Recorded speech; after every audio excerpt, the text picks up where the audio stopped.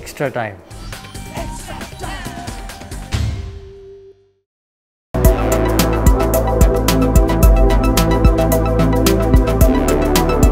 মিষ্টি কথা বাংলার নতুন মিষ্টি।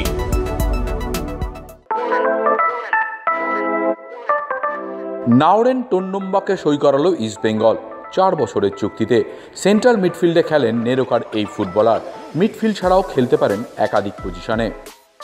গত মরশুমে মণিপুরের ক্লাবটির হয়ে ভালো খেলার জন্যই নজরে পড়েন আলেহান্দ্রো মেনেন্দেস গার্সিয়ার তারপরেই তার সঙ্গে যোগাযোগ শুরু করেন বিনিয়োগকারী সংস্থার কর্তারা এবং দীর্ঘমেয়াদী চুক্তি করেন তার সঙ্গে। এর আগে কোনো ফুটবলারের সঙ্গে এত দীর্ঘমেয়াদী চুক্তি হয়নি লাল হলুদের।